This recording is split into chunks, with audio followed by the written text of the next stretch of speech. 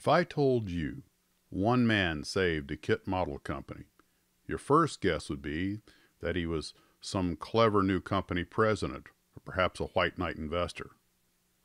It is unlikely that you would guess he was an industrial designer, fine artist, and kit designer, but he was.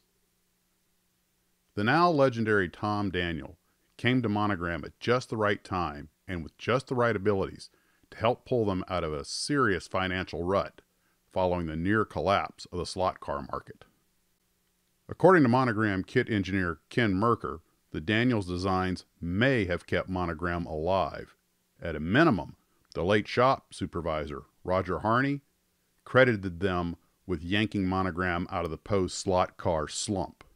In fact, according to Thomas Graham's book on monogram models, at one point the Tom Daniel designed kits represented over 40% of the company's income, with the Red Baron car alone selling over 3 million units in just two years. I can personally recall seeing them on the shelves for years. I wanted one, but my fascination with airplanes and armor usually won the battle for my $1 a week allowance. So, who is Tom Daniel and what makes him so special? Well, I can oversimplify that answer in six words right person, right time, right attitude. Now let's break that down a bit more, and then we can talk about the kits. Tom Daniel, many just call him TD, was raised in East Los Angeles, California during the Depression. Living through such hard times gave him a strong sense of what's important and what's not. And this is going to be very important later. He learned at an early age that he could draw very well, and the things we're good at often develop into our interests. From grammar school through high school, he was a straight A art student and won countless awards and competitions, including the prestigious Bullock's Gold Key Award for High School Achievement in Art. Following high school graduation in 1954, Daniel was accepted as a freshman to a very prestigious art school, the Art Center School then in West Los Angeles. Tom began a brutal regime, six days a week, for four years. His talent was spotted by Charles Chuck Jordan, who, at the time, was the chief designer in the Cadillac studio at the GM Technical Center north of Detroit, Michigan. Chuck Jordan interviewed Tom at the Art Center campus on 3rd Street in West Los Angeles just prior to his graduation in 1959.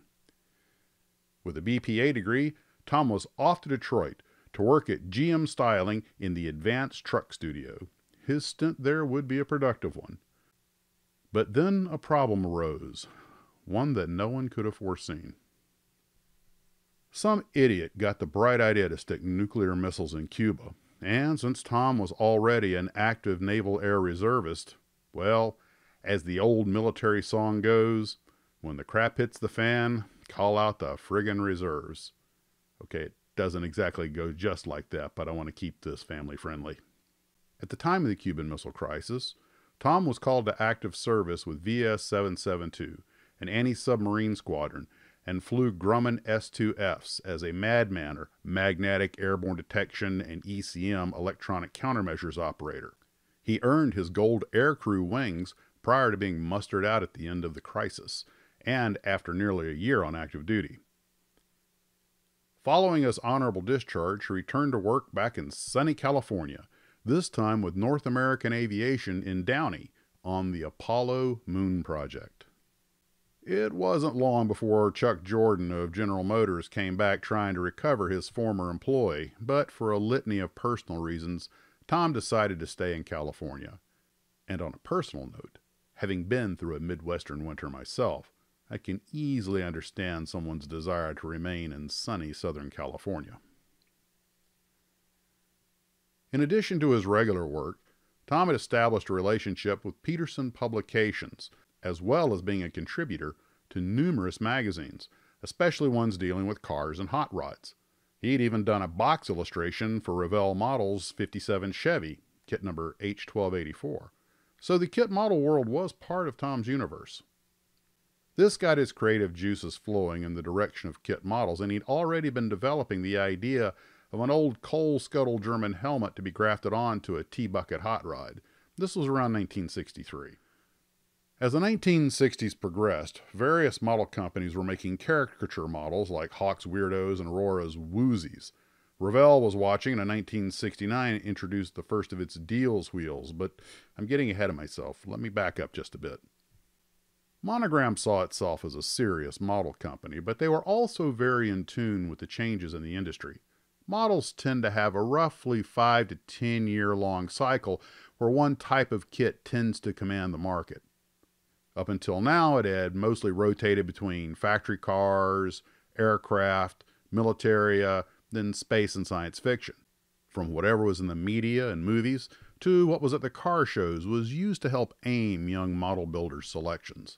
Modelers were always looking for the next thing, and you can only build so many 55 Chevys, P 51 Mustangs, and B 17s before the ceiling and shelves look like a post war aircraft dump or a used car lot. Not that that's a bad thing, mind you. Robert Reeder at Monogram was aware of this and was already trying to figure out how to approach the current situation when he got an unsolicited letter from Tom Daniel.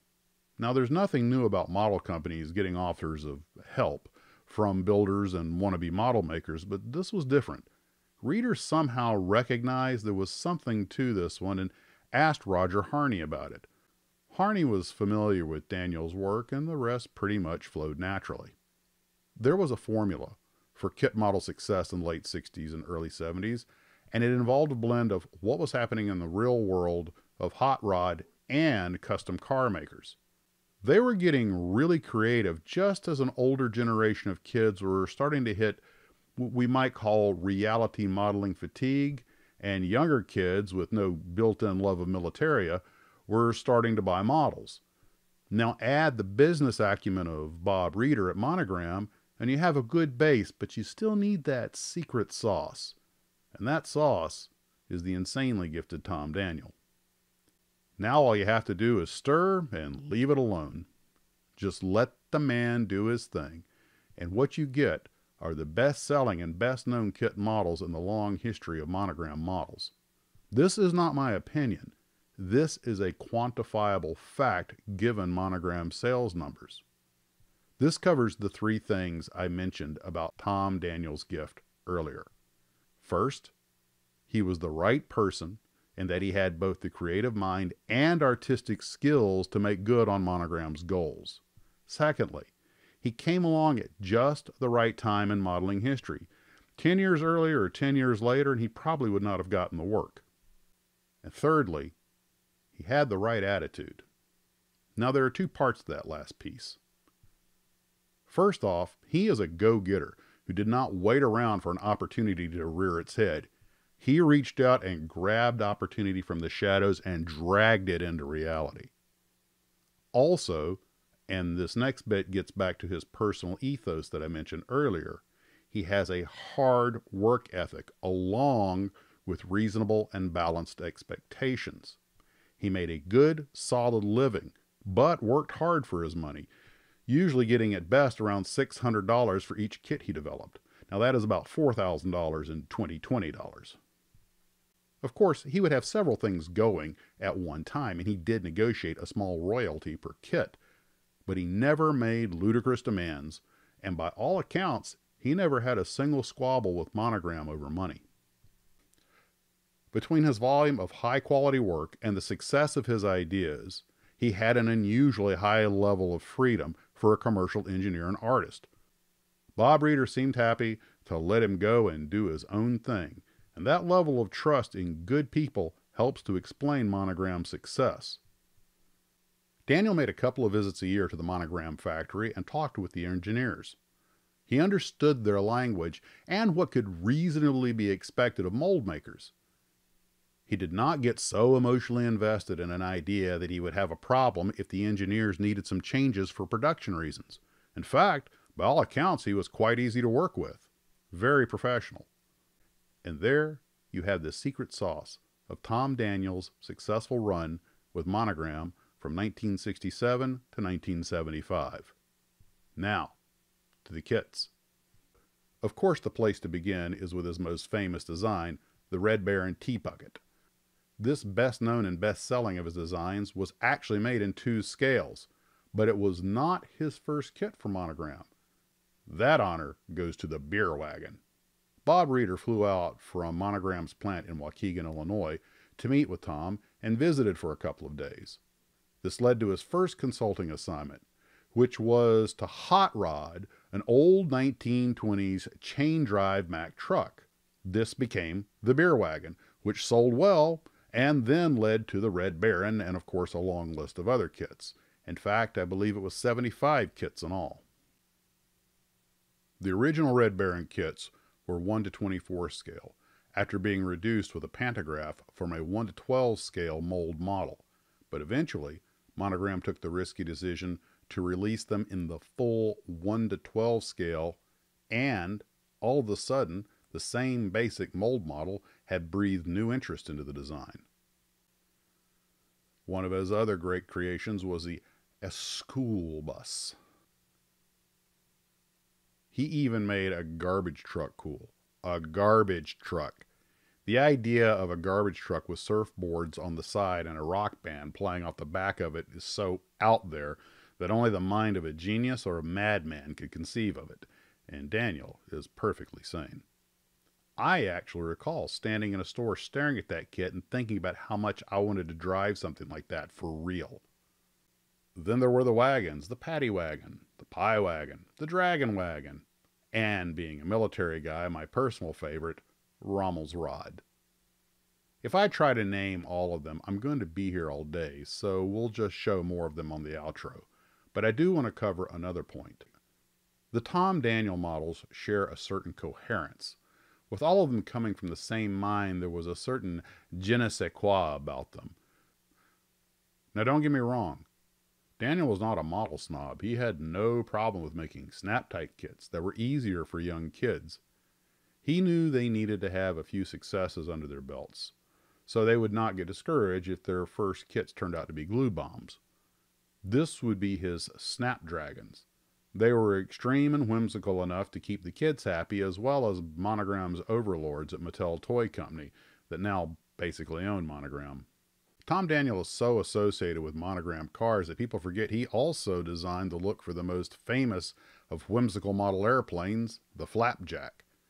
Now, the mechanics of the model had been done before he made the look, but the look is all Tom Daniel. As an aside, despite its whimsical nature, it is not an easy kit to build and have work properly. Another thing that he never got proper credit for, and that I personally find a little bit irksome, even though I wasn't involved, is that Tom never really got the credit he deserved for designing the Munster coach, which, by the way, is one of my favorite TV cars, and also, as Daniel called it, Dragula, the two vehicles used in the popular television show The Munsters. As part of the California car scene, he was one of several go to guys for car ideas. The famous car promoter, George Barris, needed a car idea for a new TV show, which, as it turned out, was The Munsters, and Tom had sketches to him the next day. It was actually built by, and I hope I'm saying this right, Dick Dean Swieckas, with help from a couple of other guys. But for whatever reason, Daniel never got credit from Barris for the design. The same would later go for the Surf Woody. Far be it from me to say someone in show business would hog the limelight, but I sure am thinking it. Now, I do not want you to think that Daniel's career somehow ended after Monogram. Quite the contrary. He continues to be a productive artist and has done box art for Revell in addition to his rather impressive experiences in the world of real cars. His Red Baron is not only still the top selling model car ever, but is also available as a Hot Wheels car and is the second best selling one of those. Tom was involved with his longtime friend, the late Gary Gabelich, who was the former holder of the world land speed record of 622.407 miles per hour, set at the famed Bonneville Salt Flats near Wendover, Utah, on October 23, 1970. Gary's land speed record held for 13 years, Tom Daniel was the executive vice president of Rocketman Corporation and worked with Gary on the design of the new 800 plus mile per hour rocket powered land speed record car named the American Way. Gary hoped to use it to set a new land speed record, but regrettably, in January of 1984, Tom Daniel's good friend, Gary Gabelich, was killed in a motorcycle accident near his home in Long Beach, California. The man drove a car faster than a speeding bullet, only to die in a routine traffic accident. The universe loves its brutal irony.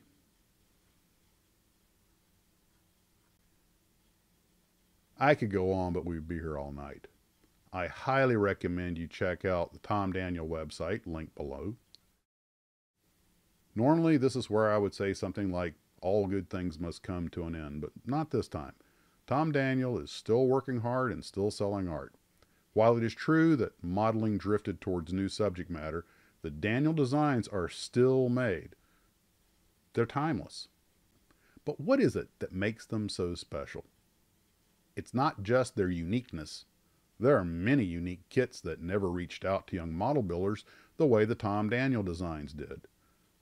There is a hard to define thing, a special something that words cannot quite define that makes a thing reach out to us and lightly touch us near our hearts. It's delicate, but potent.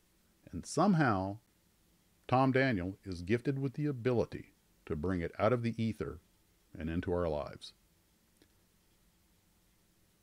I want to extend a special thanks to Mr. Daniel for both allowing me to produce this video and for his assistance.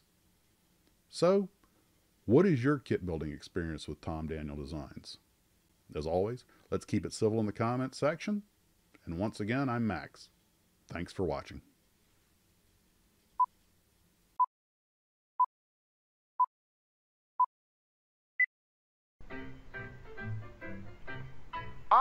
Jetzt singen wir zusammen eine Geschichte über den Schweinkopfigen und den lieben Rottenberg. After the turn of the century, in the clear blue skies over Germany, came a roar and a thunder man had never heard like the screaming sound of a big war bird.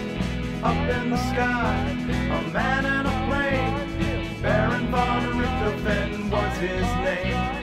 Amen tried and Amen died. Now they're buried together on the countryside. 10, 20, 30, 40, 50 or more. That bloody red baron was rolling up the score. Amen died trying to end that spree of the bloody red baron of Germany. In the nick of time, a hero arose a funny looking dog with a big black nose. He flew into the sky to seek revenge, but the Baron shot him down. This is foiled again. 10, 20, 30, 40, 50 or more. That bloody red Baron was rolling up the score. Amen died trying to end that spree of the bloody red Baron of Germany.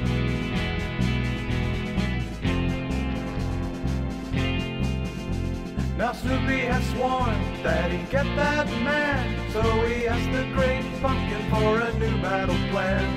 He challenged the German to a real dog fight, while the Baron was laughing, he got him in his sight.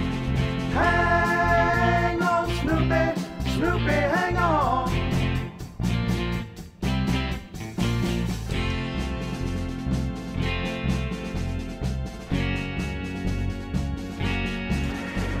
That bloody red baron was in a fix. He tried everything, but he's run out of tricks. Soon he fired once, and he fired twice, and that bloody red baron went spinning out of sight. 10, 20, 30, 40, 50 or more, that bloody red baron was rolling up the score. Amen died, trying to end that spree of the bloody red baron of Germany. Well, 10, 20, 30, 40, 50 or more. That bloody red baron was rolling